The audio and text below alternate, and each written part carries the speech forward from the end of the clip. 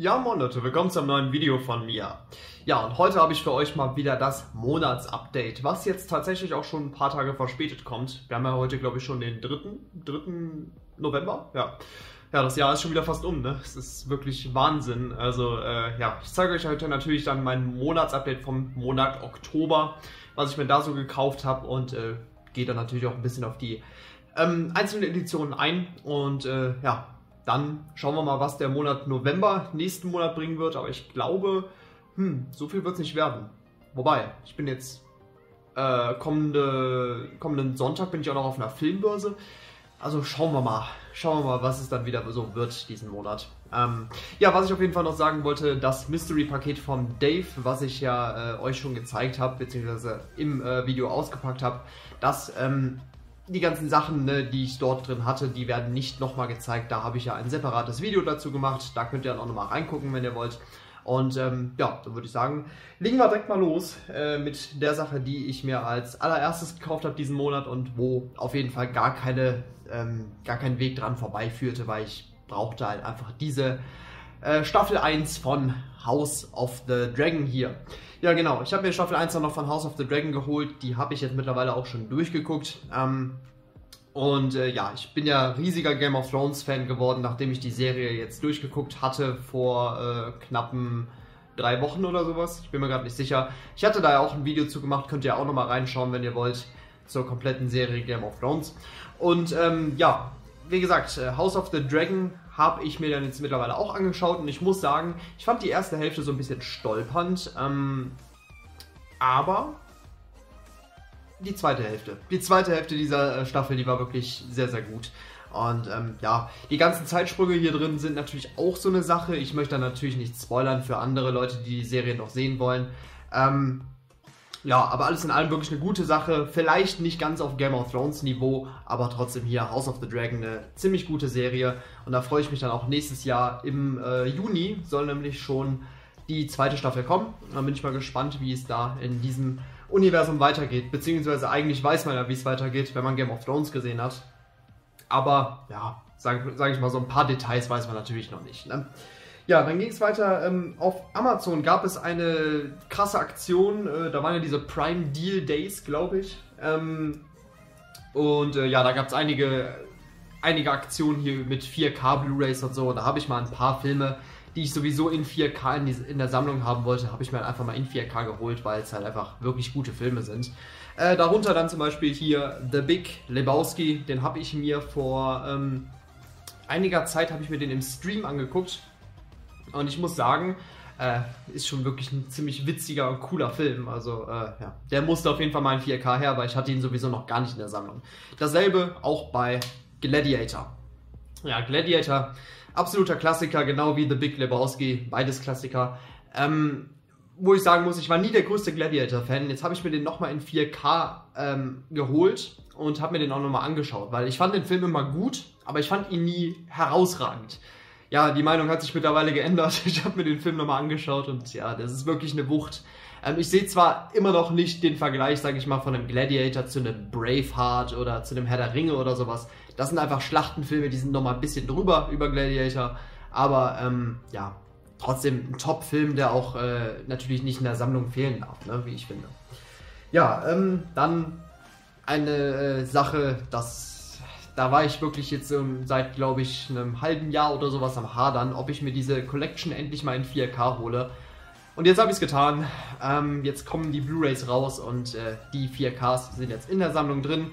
Leider mit einem bisschen äh, angedutscht hier, diese ganze Trilogie. Aber äh, ich muss sagen, wenigstens gehen die 4K-Discs von äh, hier zurück in die Zukunft. Habe ich mir geholt, nämlich äh, komplett hier in 4K.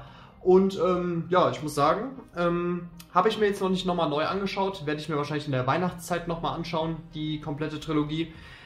Ähm, da soll ja wirklich äh, die 4K-Umsetzung richtig gut sein. Hier ist ja auch ein äh, neuer Dolby Atmos-Ton drauf und so. Der war ja auf den normalen Blu-rays gar nicht drauf. Und äh, demnach ist das hier ein Ton- und ein Bild-Upgrade. Und ähm, ja, wie gesagt, die Verpackung ist hier ein bisschen eingedutscht. Kam von Amazon. Habe ich aber, wie gesagt, günstig bekommen. Ähm, dann sind hier natürlich auch die ganzen äh, 4K Amarays hier drin. Und ähm, ja, genau. Zurück in die Zukunft. sollte man sich, glaube ich, äh, auf jeden Fall mal anschauen, ne? sage ich mal, in 4K, wenn die 4K-Umsetzung halt so gut sein soll. Ähm, ja, wer Zurück in die Zukunft noch nicht kennt, ne, ich glaube, da habt ihr noch eine riesen Bildungslücke. Ja, ganz klar. Und äh, noch ein weiteres Upgrade, auch ein Film, den ich schon auf Blu-ray hatte, aber wo ich auch die 4K haben wollte, einfach aus dem Grund, weil ich den zweiten Teil auch in 4K in der Sammlung habe. Äh, ja, Top Gun. Hier mit Tom Cruise, Top Gun, auch würde ich sagen, ein Klassiker, jetzt kein Riesenklassiker, aber äh, Top Gun ist trotzdem, ne, würde ich sagen, äh, auch eine Sache, die für Fans natürlich in der Sammlung nicht fehlen darf. Ähm, habe ich mir jetzt wie gesagt die 4K geholt. Vorher hatte ich die Blu-ray ähm, schon in der Sammlung, aber ähm, ja, ich wollte da halt einfach wirklich beide Filme, das äh, Original jetzt hier und halt auch, wie gesagt, Top Gun Maverick wollte ich auch in 4K haben. Den hatte ich ja schon in 4K und äh, demnach, ne, lange Rede, kurzer Sinn, aber äh, ihr wisst Bescheid. Ja, und dann kam noch eine der besten VÖs wahrscheinlich der letzten Jahre in meine Sammlung und äh, ja, da muss man natürlich einfach mal endlich sagen, danke Play on Pictures, dass ihr einfach nochmal wieder sowas Geiles rausgebracht habt. Und zwar Leatherface Texas Chainsaw Massacre 3. Ja, ein Film, der wirklich jahrelang hier nur in äh, inoffiziellen äh, VÖs äh, ja, zu finden war, nämlich Bootlegs und ähm, ja, anders hast du diesen Film nicht mehr bekommen, außer du bist ins Ausland gegangen und dann hattest du den Film natürlich nicht mit deutscher Tonspur. Ja. Player Pictures hat diesen Film endlich im Mediabook gebracht und ähm, der dritte Teil von Texas Chainsaw Massacre ist, würde ich sagen, einer der schwächeren der Reihe. Ähm, gehört jetzt nicht zu den besten, aber selbst die schwächeren Teile der Texas Chainsaw Massacre Reihe sind halt immer noch cool, wie ich finde. Und ähm, demnach durfte nicht in meiner Sammlung fehlen hier endlich mal Leatherface Texas Chainsaw Massacre 3 in der Sammlung. Offiziell ist das schön. Ist wirklich schön. Vor allem, ich liebe dieses Cover, ne? Ich liebe dieses Cover hier mit, äh, mit der Kettensäge. Und äh, halt dieser Leatherface-Maske. Ich finde, Leatherface sah nie so cool aus wie in diesem Film. Und äh, ah, ich feiere das. Ich feiere das richtig. Muss ich mir unbedingt jetzt nochmal offiziell anschauen. Ja. Ja, dann ähm, habe ich mir noch gekauft, weil ich habe euch das ja letzten Monat schon gezeigt, hatte ich mir äh, Blade Runner in die Sammlung geholt. Und zwar Blade Runner 2049. Da darf dann natürlich hier das Original äh, Blade Runner im Final Cut mit Harrison Ford natürlich nicht fehlen. Ähm, ja, Blade Runner ist, glaube ich, auch den meisten Begriff. Tatsächlich ein Klassiker, den ich noch nicht gesehen habe. Aber ähm, werde ich mir dann demnächst mal anschauen. Und äh, ja, geht gar nicht mal so lang. 118 Minuten. Ich dachte, das wäre hier so ein 150 Minuten plus Epos, aber nö, geht gar nicht so lang. Hier Blade Runner. Ähm, muss ich auf jeden Fall langsam mal gesehen haben. Ne? Äh, ja, dann kam hier äh, noch eine Veröffentlichung von Studio-Kanal, die ich aber auch übers ähm, Play on Pictures ähm, über den Shop bestellt habe. Und zwar das Mediabook hier von Katzenauge. Und ich muss sagen, das ist wirklich für mich persönlich vielleicht eins der schönsten Mediabook-Cover, die ich bisher so gesehen habe. Ähm, also dieses Timo Würz-Cover hier mit der Katze, das packe ich auch noch mal eben aus, damit ihr das hier wirklich schön seht. Ähm, wie gesagt, in Schutzfolie kommt das nicht so rüber und spiegelt wahrscheinlich ein bisschen.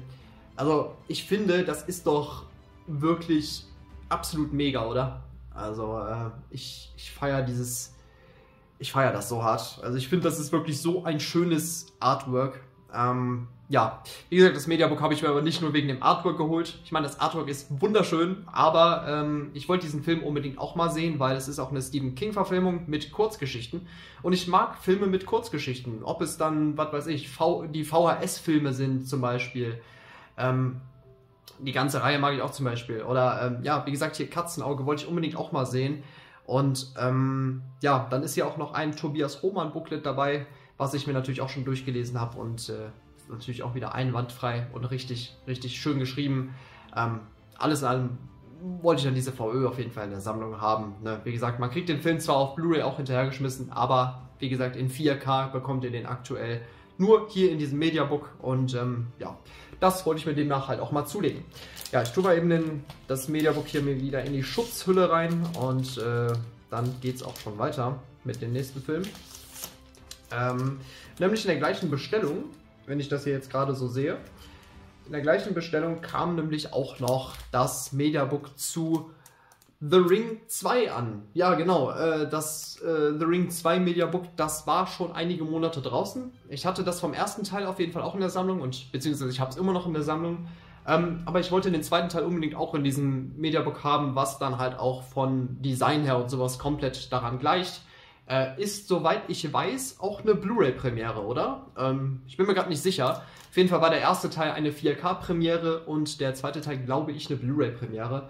Ähm, demnach, ich wollte das unbedingt mal haben. Ähm, den Film habe ich bisher noch nicht gesehen, den werde ich mir dann die Tage mal anschauen. Und ähm, ja, bin ich mal gespannt, ob der den, das äh, Niveau vom ersten Teil halten kann, weil ich fand das, äh, der, das Original, also der erste Teil Ringu, fand ich eigentlich ziemlich cool. Ähm, und ich muss sagen, der ist auch heutzutage noch ein bisschen gruselig. Jetzt vielleicht nicht so gruselig wie das Remake, weil das Remake ist eigentlich nochmal ein bisschen besser. Ähm, aber ich mag das Original ziemlich gerne von Ringu und äh, ja, demnach wollte ich halt auch den zweiten Teil mal sehen.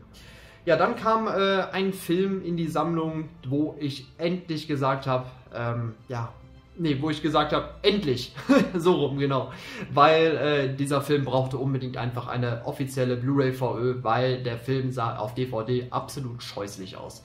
Ähm, auf DVD konntest du wirklich einige Szenen einfach nicht mal richtig erkennen und ähm, da war einfach eine Blu-ray-Premiere ähm, ganz, ganz wichtig. Und zwar Mondo Kannibale Teil 2. Ja, ein Kannibalenfilm, der jetzt auch offiziell erstmals äh, uncut ab FSK 18 in Deutschland rausgekommen ist. Und das, obwohl der eigentlich einer der härtesten ähm, Kannibalenfilme ist. Ja, fand ich krass, dass die den durchgeboxt haben bei der FSK. Aber ja, die FSK ist halt lockerer geworden. Ne? Und äh, demnach, coole Sache auf jeden Fall, dass Mondo Kannibale Teil 2 jetzt auch hier verfügbar ist.